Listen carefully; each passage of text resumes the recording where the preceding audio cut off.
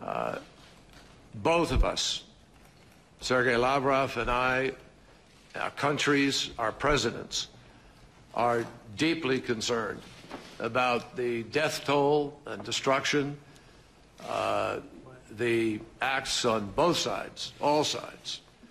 that are creating more and more refugees, more and more of a humanitarian catastrophe. And we are committed to try to work together, beginning with this initiative on the chemical weapons, in hopes that uh, those efforts could pay off and bring peace and stability to a war torn part of the world.